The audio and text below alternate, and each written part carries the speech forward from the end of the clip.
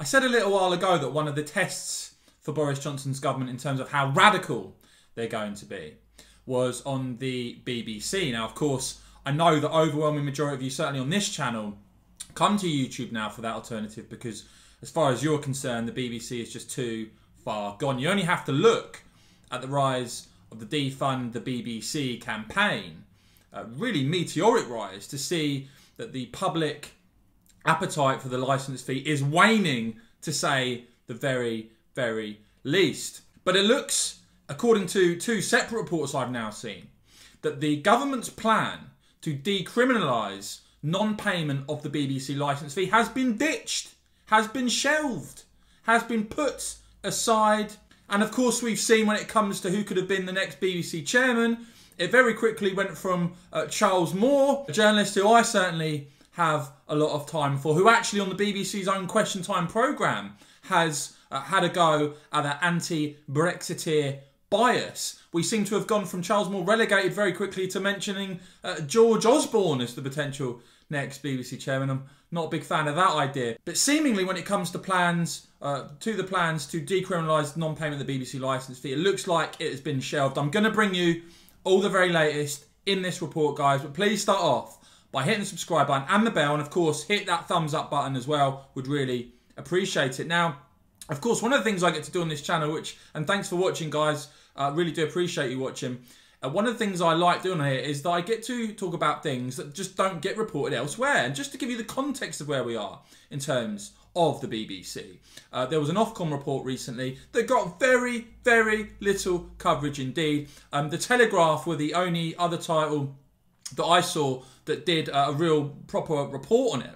And some of the findings in it uh, are findings that really uh, show you that in terms of the people that are against the license fee, they are far from being some uh, right wing fringe as some at the BBC might have you believe. And as I tweeted at the time, when you delved into this Ofcom report on the BBC, BBC now perceived as less impartial than ITV, than Sky, than Channel 4 or Channel 5 Ofcom report uh, found. In fact, the perception of impartiality when it comes to the BBC, they finished last out of the broadcasters included in the survey, and fewer than half, fewer than half now, of working class Brits now say the BBC provides impartial news. The Ofcom report found that impar- BBC's impartiality score was down to 58%. By comparison, Sky News scored 69%.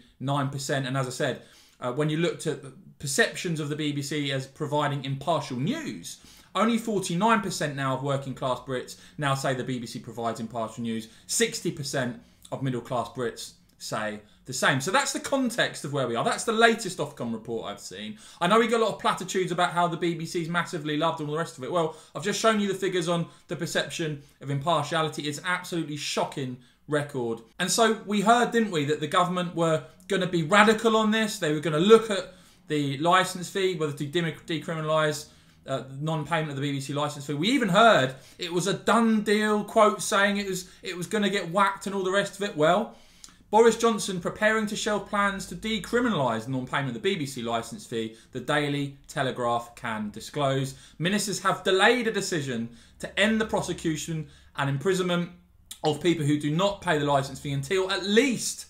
2022. It is understood. Uh, the Telegraph saying the move will come as a relief to the BBC, which has claimed that decriminalisation could cost it £1 billion over five years and would inevitably require significant cuts if dissatisfied viewers opted to run the risk of a civil penalty and withhold their licence fee. The postponement, Telegraph report, signals the latest cooling of hostilities between Number 10 and the BBC after the departure of Dominic Cummings and Lee Cain, who was the head of the Downing Street uh, media operation. The pair had advocated sweeping changes to the broadcast and refused to allow ministers to appear on political programmes, alleging left wing bias. Well, I make them absolutely right on that. Hence why you're seeing channels like this grow. Hence why you'll see next year GB News hopefully bring some balance in terms of the broadcast media.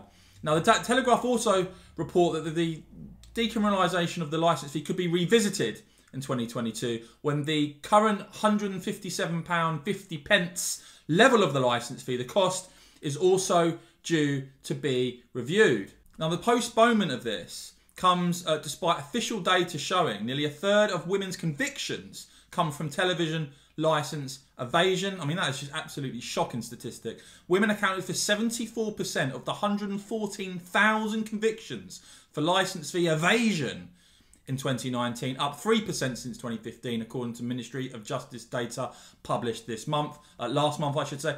That again, that's the Telegraph. But there is a second report from the Sun as well. Plans to decriminalise non-payment of the annual TV licence are to be shelved. Ministers had proposed viewers who refused to cough up, cough up £157.50 should no longer face a criminal record, but such a move is not expected to be included in the government's response uh, next month to its consultation on future funding of the BBC. The news will upset Tory MPs, the Sun reports, who have campaigned for years for this to happen, but it'll be a relief to the Beeb who warned away who warned taking away the penalty of a criminal offence would trigger a major rise in people not paying and blow a one billion pound hole in the corporation's finances over five years. Now, just to give again more context as to where we are with the BBC, and do let me know in the comments below, guys. Are you a fan of the BBC? Do you think the licence fee is good value for money? Would you pay it voluntarily? Well, Defund the BBC have actually done a poll with Savanta ComRes that found uh, more Brits want to move to subscription model than keep the BBC licence fee. In a press release, they have said scrapping the, the BBC licence fee and replacing the compulsory £157.50 annual charge with a subscription model like Sky is the most popular option for reform of broadcasting funding, according to a new poll. The poll commissioned by Defund the BBC and conducted by Savanta ComRes found that 40% of respondents want a channels based subscription model against 37% who favour the current system. Commenting on the poll, Rebecca Ryan, campaign director of Defund the BBC, said the British public want the licence fee to move to a subscription model that would mean people have the right to decide if they want access uh, to access BBC content or not. It's clear from this poll that there is a huge swathe of the population who do not feel the BBC's Christmas schedule is on par with what it should be, and many will be watching far less BBC content than they did last year.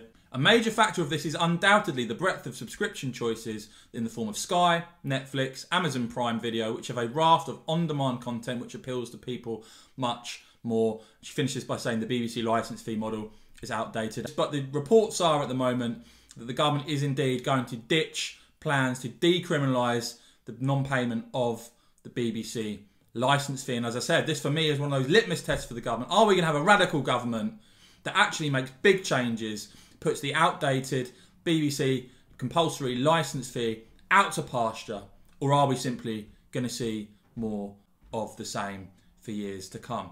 Personally, as viewers of this channel will know, the idea that there's a compulsory licence fee, I just think is so outdated, it's ridiculous.